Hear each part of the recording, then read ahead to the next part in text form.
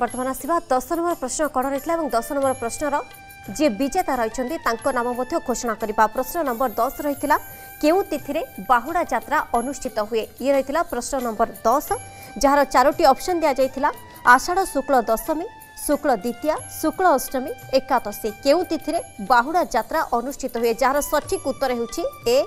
ଆଷାଢ଼ ଶୁକ୍ଳ ଦଶମୀ যার সঠিক উত্তর দিয়ে বিজেতা হয়েছেন ঢেঙ্কানাড়ু আপনার কহবি যে ঢেঙ্কানাড়ু বিজেতা রয়েছেন ক্লান্তি প্রভা সঠিক উত্তর দিয়ে বিজেতা হয়েছেন ঢেঙ্কানাড় যিকি সঠিক উত্তর হচ্ছে আষাঢ় শুক্ল দশমী প্রশ্ন রয়েছিল কেউ তিথি বাহুড়া যাত্রা অনুষ্ঠিত হুয়ে যার সঠিক উত্তর এ